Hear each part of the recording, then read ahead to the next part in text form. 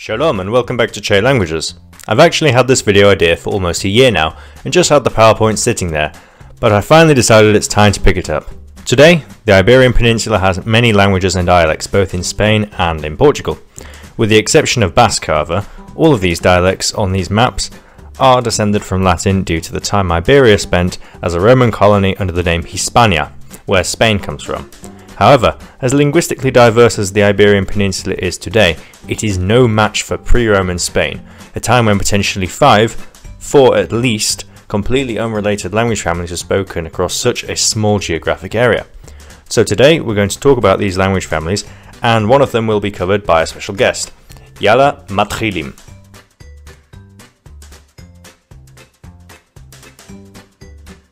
A forgotten civilization once inhabited the region now known as Andalusia and the Algarve, long before the Phoenicians, Romans, or Arabs. Back when there was a gulf near modern day Cadiz, there was the Tartessian civilization, spanning over much of southern Iberia with texts from the civilization showing up in all the dark red areas. The Tartessians owe their name to the ancient Greeks, who gave them the name Tartessos for unknown reasons. In ancient Greece, Tartessos was a semi-mythical city and or civilization, mentioned to be beyond the Pillars of Hercules, now known as the Straits of Gibraltar, and at that time it was the edge of the known world. Some also hypothesize that a city mentioned in the Tanakh called Tarshish may also be the site of Tartessos, as there are many references to the city throughout the Hebrew Bible, most notably in the book of Yonah, where Yonah himself is mentioned to have attempted to get a ship to Tarshish. Despite the semi-mythical status, we definitely know that a civilization existed in this area, whether they call themselves Tartessos or not. And that's the thing, we don't know. Their language is still today unclassified. There are various theories to what it may have been. A popular but not accepted theory is that it was a Celtic language, but many Celtic scholars themselves actually dispute this, looking more towards their culture as evidence that they were not Celtic. They could also possibly have been Iberians, as they neighboured them and shared a very similar Phoenician-inspired script, called the Southwest Script by linguists. Some scholars have also put forth the theory that Tartessian could have been Amazigh or Semitic, making it an Afro-Asiatic language. The most solid theory for now, however, is that it's an isolate. We indeed have a number of inscriptions from the Tartessians, though most of them are rather short. And shown in the top right is the Southwest script with an attempt to prescribe phonemes to them, reverse engineered from Phoenician. This attempt was made by Spanish linguist Rodriguez Ramos, and as you can see, he proposes that it's actually a sort of syllabary slash alphabet hybrid, which seems strangely impractical to me, but with this system, Ramos has translated the stela above to this literal letter by letter transcription, and a proposed reconstructed form of what it might have sounded like. Sadly, we have no translation for what it possibly could have meant, nor can we really draw any cognates with other languages from them either. Perhaps somewhere there is a Tartessian Rosetta Stone waiting to be discovered, with Phoenician or Ancient Greek beside it, but for now, the Tartessian language like the civilization, remains a huge mystery in linguistics. We do, however, know a lot more about our next language family.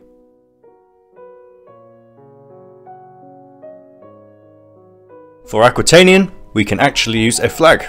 Shown on the map here is the historical extent of Aquitanian, sometimes called Vasconic and contains two languages according to linguists, Aquitanian and Proto-Basque, also called Vascones.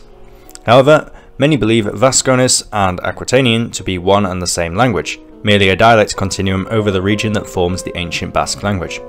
Basque is unique today for being the only remaining Paleo-European language, that is, pre-Indo-European, in all of Europe.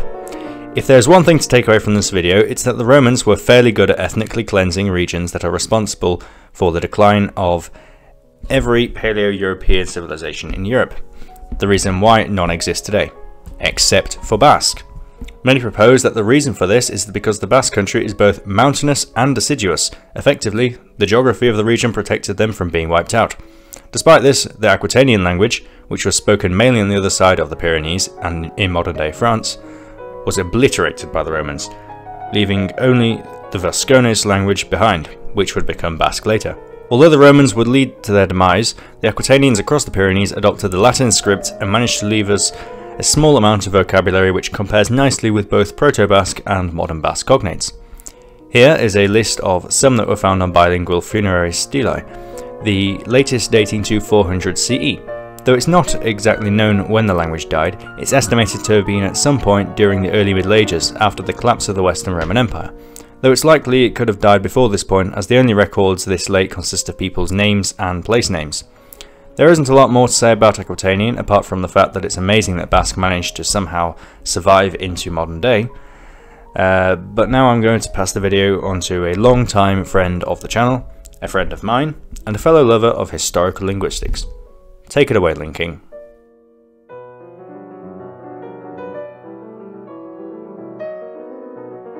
Hello and shalom to everyone here. To start, Celtic groups lived in the Iberian Peninsula from the end of the Bronze Age, about 900 BC, until they were subsumed by the Romans in about the 1st century BC. During that time, there were many cultures around them, including the Tartessans and Iberians, but this Ibero-Celtic group, also called Hispano-Celtic or Celt-Iberian, was the strongest of them all when Rome came in and ate the Mediterranean for breakfast. We have a lot of writings from them. They had their own writing system, which is noticeably and unsurprisingly Phoenician slash Punic in nature. But there is some argument of whether or not it's from Phoenician directly, or if it was influenced by the Greek alphabet as well. Now, there hasn't been much discussion about the Celtic languages as a whole on Che's channel or my channel for that matter. But that's not for no reason. Not only are the Celtic languages mostly dead, but the general consensus of understanding how they relate to one another and how they developed isn't really well understood. In general, the Celtic languages are divided between the insular and the continental. Insular being the ones that developed on the British Islands, and continental being the ones spoken on mainland Europe. As you can see from this map, Celtic languages used to be spoken from Anatolia all through Central and Western Europe, but today they're a mere shadow of their former selves. Only the insular Celtic languages survived the Middle Ages, and it's important to remember that Breton came to Brittany from Cornwall in the 9th century AD. This would mean that there are no living languages that are closely related to our Celt-Iberian. Until you learn to mind your P's and Q's. Let me explain.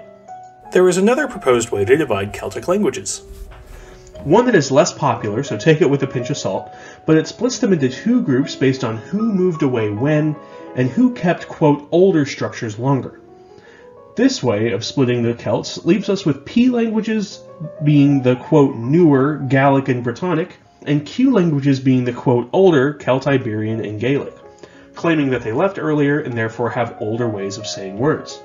I don't know, pinch of salt, I could see it going both ways. Now getting to the good stuff. How did these thriving Hispano-Celtic peoples affect how people spoke even as they started learning Latin? Well, for one, place names, or toponyms to use the linguistic term.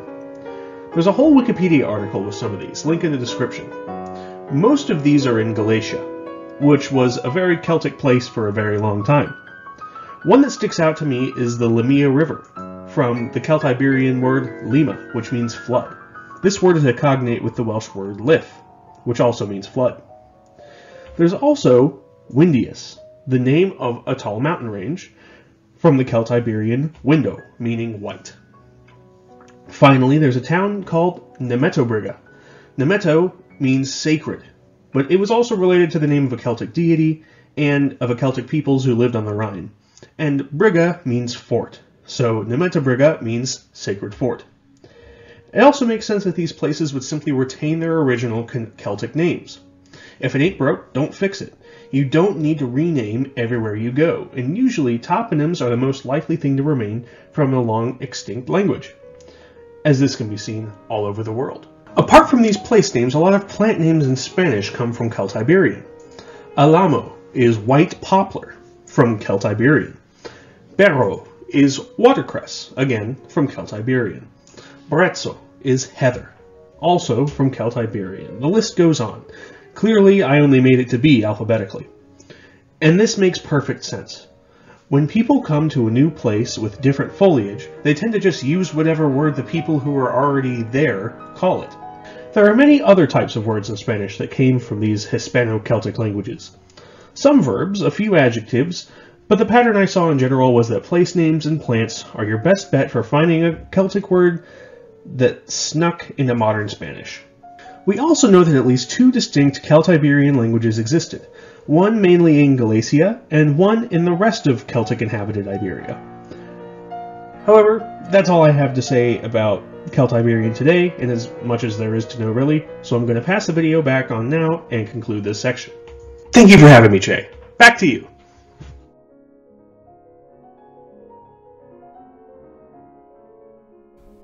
Thank you Ling King, more about him at the end of the video.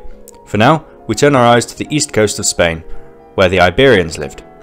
Although we generally call all the Paleo-Hispanic languages Iberian, Iberian can also specifically refer to a language family on the east coast, stretching from modern-day Catalonia all the way down to Almeria. The language is still officially unclassified, though many linguists are starting to call Iberian its own language family. There are some theories that it may be related to Proto-Basque. The most solid evidence for this comes with similarities in the numerical system. However, Iberian proper names are vastly different, sharing no link, and the question is still officially unanswered. Iberian disappeared from the written record around the 1st century CE, as the Romans tightened their grip on Hispania. However, the Spanish linguist Menendez Pidal made a claim that it may have survived as a spoken language in the rural areas all the way into the Visigothic period in the 6th to 7th centuries CE. On the topic of the written language, Iberian was written in two discernible scripts though both are closely related and ultimately directly descended from the Phoenician script, as most of the Phoenician colonies in Iberia were in the same place as the Iberians. The, these two scripts are known as the Southeastern Iberian script and the Northeastern Iberian script, and as you can see, they are both very similar in practice.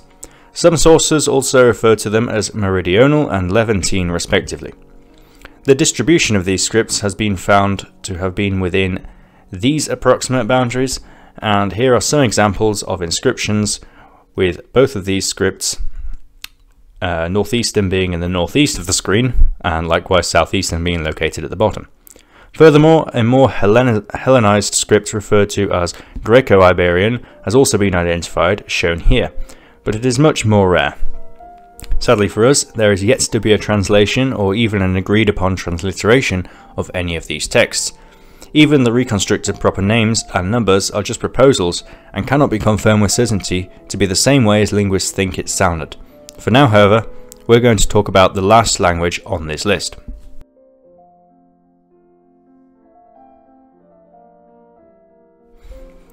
Our final Paleo-Hispanic language on our list today is a language called Lusitanian, shown here on the map, with another map showing the distribution of texts discovered. Lusitanian is another language on this list that is still half classified. Half because we know it's Indo-European, but we just don't know which branch.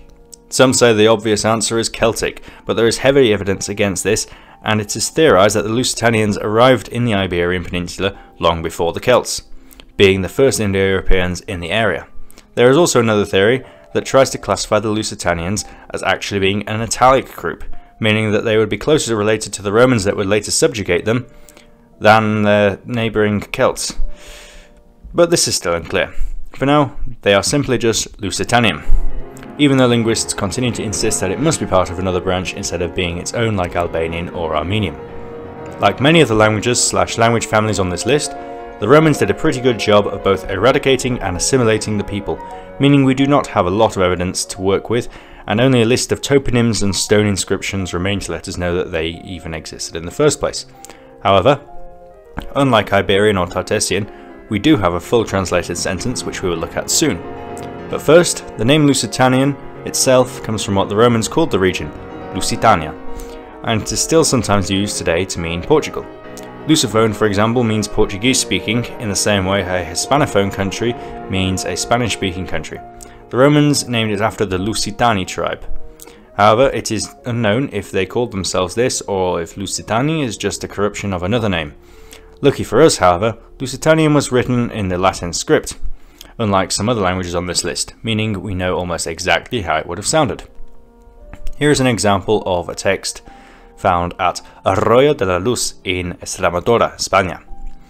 From a research paper I found online, link in the description, it states that this inscription is incomplete and due to it being completely in Lusitanian, we don't know the translation. However, we do know that it probably had a religious nature to it given the location it was found and similar texts of Lusitanian that exist. For example, the one translated sentence of Lusitanian that we do have thanks to a bilingual Latin Lusitanian text is the following.